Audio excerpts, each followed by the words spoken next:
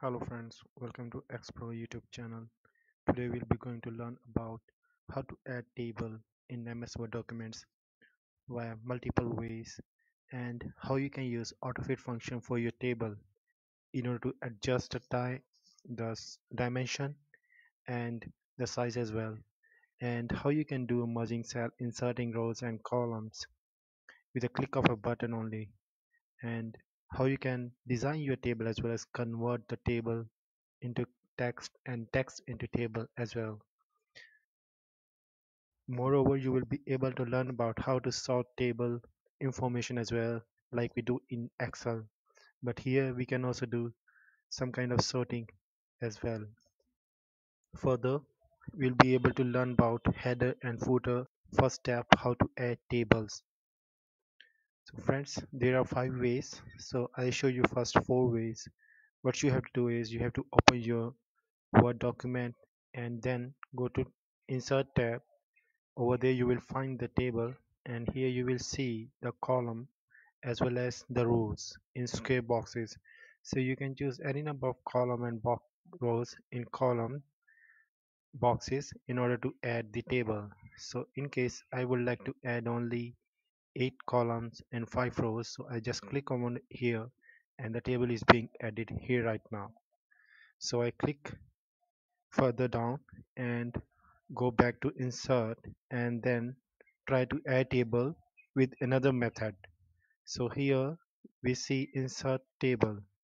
Insert table means a pop-up has come up where it is asking for you to how many columns you are required to display as well as the rows right now by default it has shows five columns in case I would like to have four columns only and three rows I can fill it up here and then press on OK. So you will see a table has displayed on MS Word document. So let's go for the third step. Go back to Insert tab, then click on Table and here click on Draw Table. So you will find a pencil.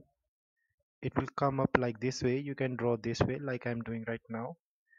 So you can add your column customized depending on your need although it is very handy as well because sometimes you need only limited number of columns and rows and you want to make it customized depending on your need as well so you can add any number of columns and rows by drawing it.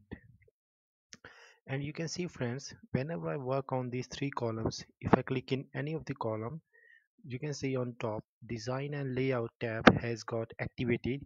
And you can click on design you will find this ribbon over here. And you can see the draw table and eraser. If you click on eraser it got golden color and you will find eraser icon instead of pencil icon so in case you don't want any kind of row line you can click on it.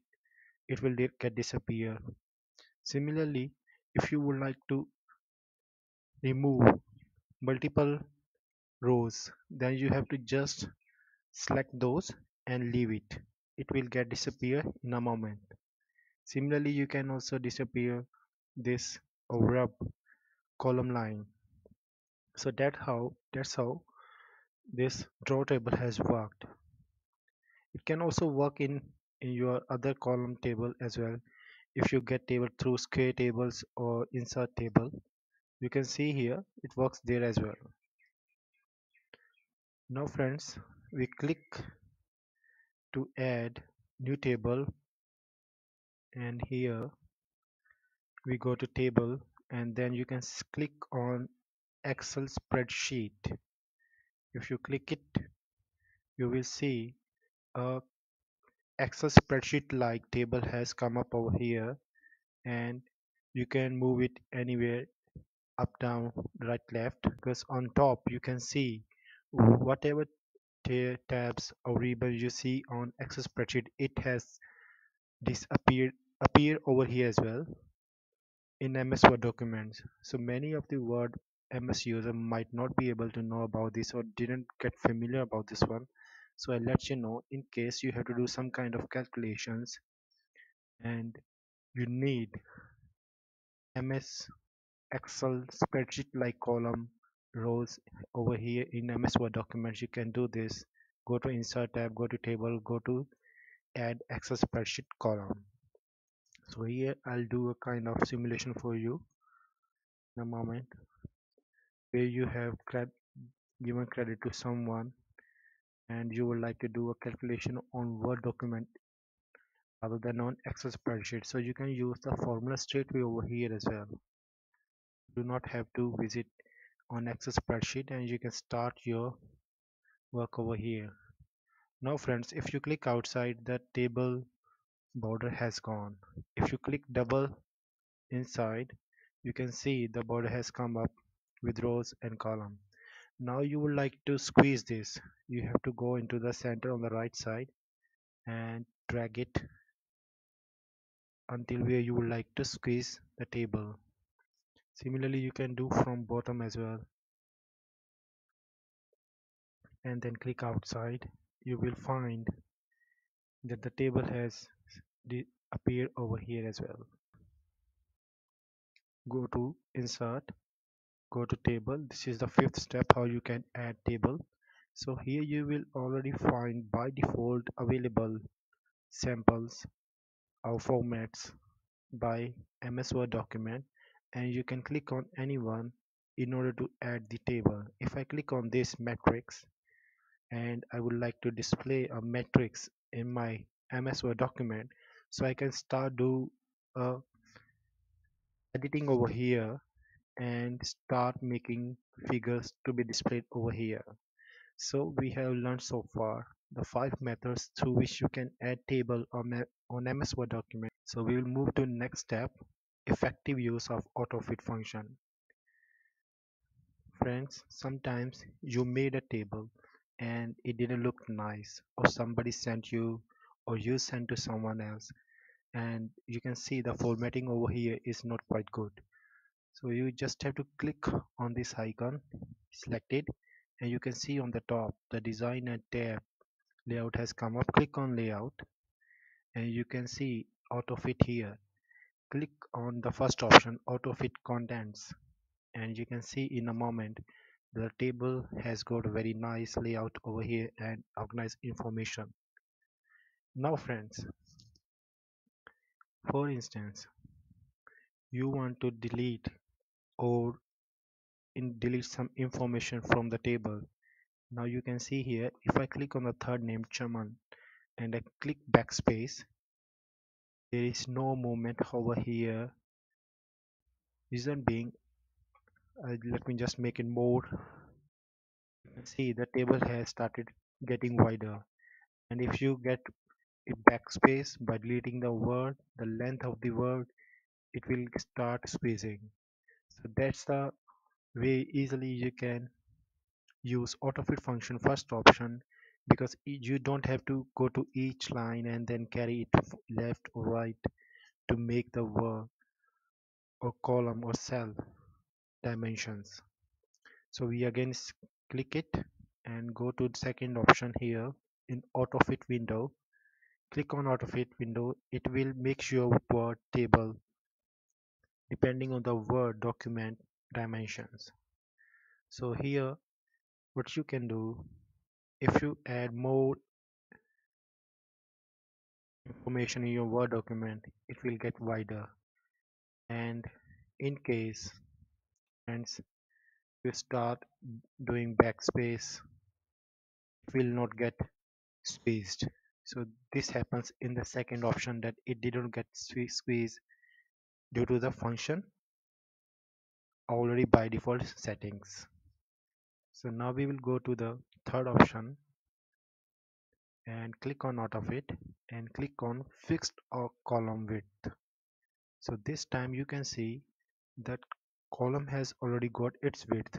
Reason being if I started adding more words the length the size the dimension of the word column remains same it did not get squeezed it did not get wider by adding more information or deleting less information. So you can see here these are the benefits you get through autofit function in alright friends. Now we'll be going to move to third option where we have to merge cells inserting rows and columns. So if you click on table anywhere and you can see the design and layout tab has come up and in case you wanted to add above any row you click here insert above. It will add new row. If you click to get a row below you have to click on insert below. Similarly if you wanted to add a new column on the left side of the name click on insert left. And if you want the column on the right side of the name click on right you start getting the columns rows from here you do not have to click on right click uh, every time I start adding this information through this it takes a lot of time. But here straight way you don't have to visit anywhere else you just have to make a click add or merge these two columns right now you can merge it. In case you want these first two columns data and the bill number split cells. Click here it will ask you how many columns you need. Right now there are only two columns. For instance we needed three. And we need only one row. So you can see here now the three rows in single rows three column has come up.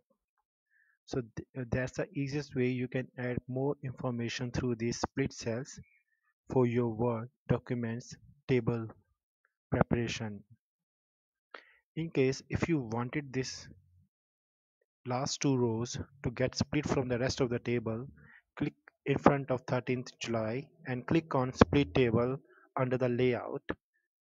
You clicked it and the rest of the table get apart from these last two rows. So that's how we can merge cell insert rows insert columns split cells and split table as well function over here here is designing table and conversion. As you can see here right now the formatting is being done that I selected this and then I go to home tab then I give it background this color. Now friends you can see in case you wanted this whole column to get the same color the date has got at the background go on top of the date you see a bold black downward arrow has appeared you click left click and the whole table has got selected. The column has got selected and click on the tab where you would like to have the color to get appear at the background. So that's the first part of the design. That is very easy.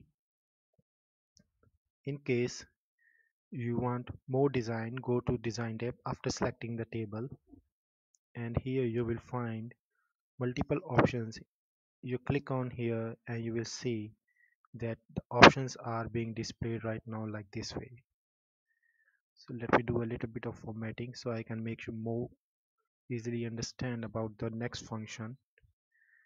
If we go back to design tab you can see on the left side top headed header row first column last column banded banded columns and banded rows.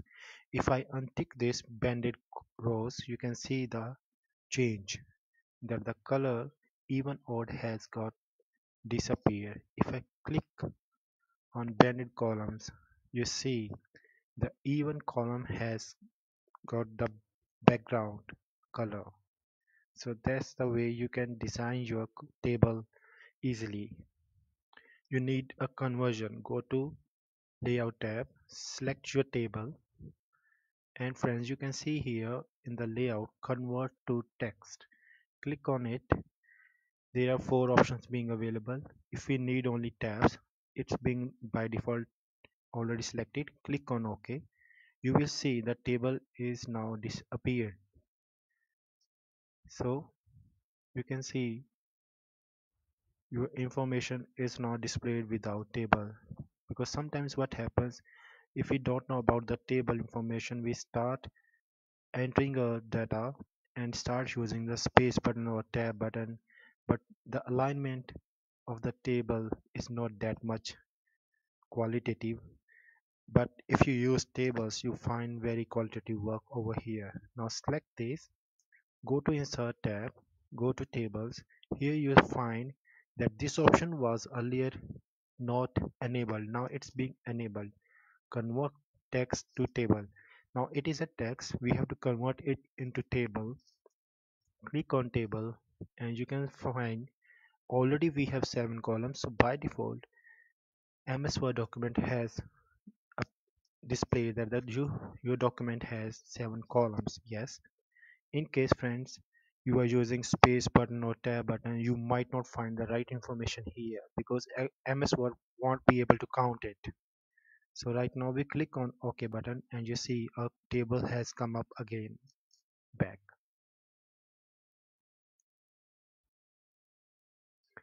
Now friends, if we again select a table and go to convert to text on the layout tab and this time we need commas after the information, click on OK and you can see here the table has disappeared.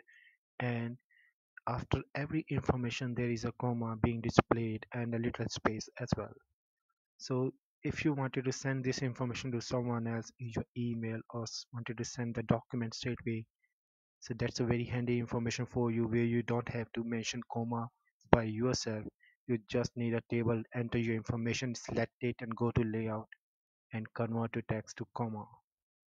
Alright friends. Now we'll be moving forward to the second last method sorting table information. We select this option. We go to layout then we go to a to z. And here you can see the column header has started appear. So we collect the um, select the amount.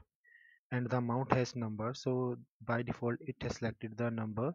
We wanted to display it in a descending way and click on ok so you can see the highest number has appeared here. In case you wanted to select the name and name should disappear uh, should appear in ascending order click on ascending and click ok so you will find your name started appearing in ascending orders. In case friends you want this call amount in front of bill number. What we do generally we start deleting this information or we copy this table separately and enter new column or row on left side or right side. But that's a bit of time consuming. I'll tell you another little met method over here which is very handy. You see if I go on top of amount there is black downward arrow has come up click it the whole table column has got selected. Now you come to first option here don't do anything. Press the right click do not leave it. You can see it has a little column at the tail of the cursor.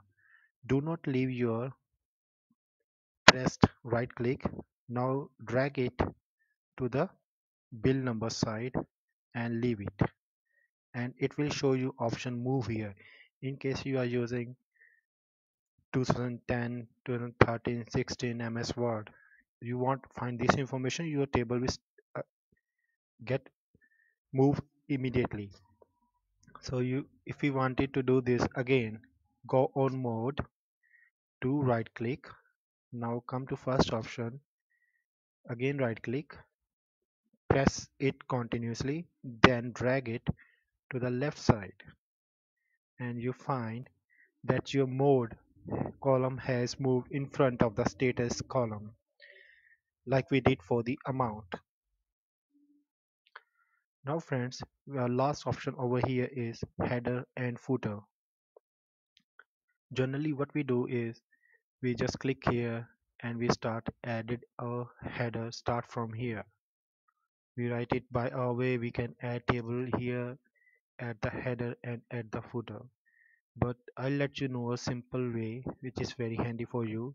If I click on the top side of the header you see a design tab has come up. And in the header if you click on the header you will find what information or title by default the samples available over here. You can add any one of them. In case I would like to add the first one and I would like to add here explore YouTube channel. And I click on the outside to get rid of the header and footer. So you can see on each page now the header has come up. But what happens if you would like to add page number at the footer.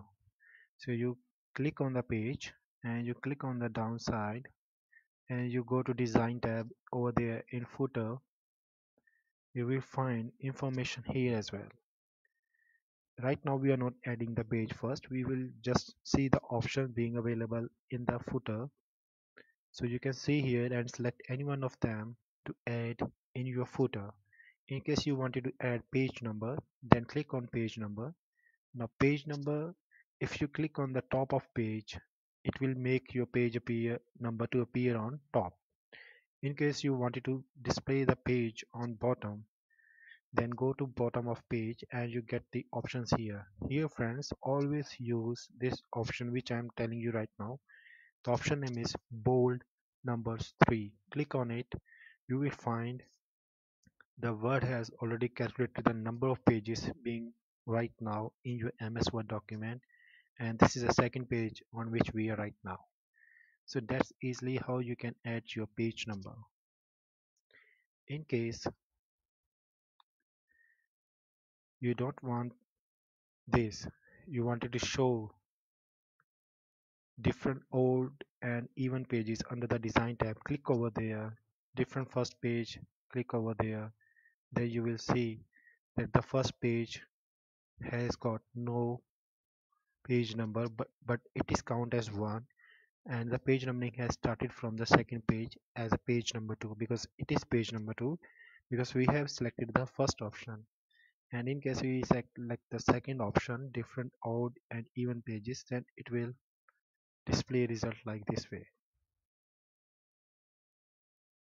that your second page has got no page number and third has got then fourth has no got then fifth has got.